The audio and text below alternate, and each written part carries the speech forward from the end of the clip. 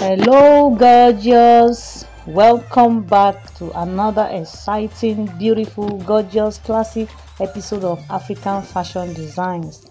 My name is Stella Badmus, and you are watching Stellyn Fashion TV, the number one channel on Asoebi, Ankara, and other African fashion designs. How are you all today? I believe you're good, and I believe you are fine.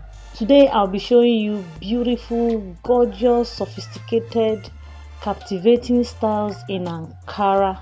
All the styles you are going to see here today are Ankara styles with a little bit of lace in it to bring out the colorful designs that we have in Ankara styles.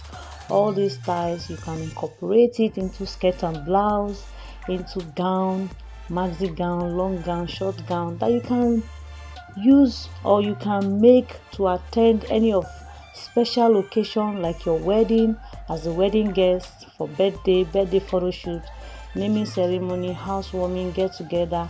All the styles here in Ankara will inspire you. Beautiful style that you don't want to miss out.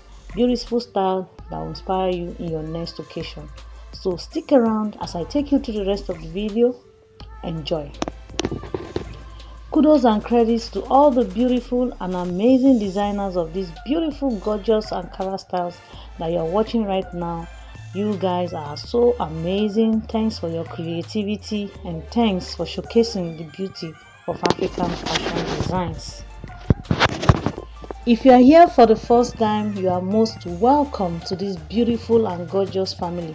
Just hit on the subscribe button and on the bell icon to get notified each time and whenever I post any new video.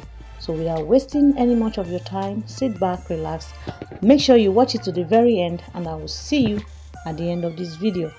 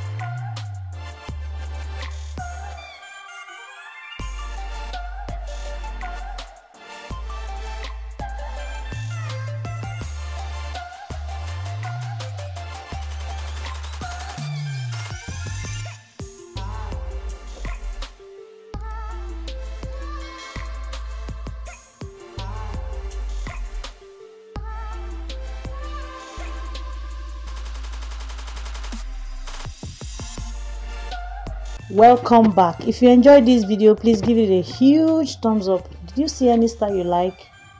In skirt and blouse in gown in bubu in kaftan and you would like to give to your designer to make one or two for you let me know on the comment section. Are you here to subscribe? Guys what are you waiting for? Hit on that subscribe button and i will see you again on my next one. Thanks for watching. Bye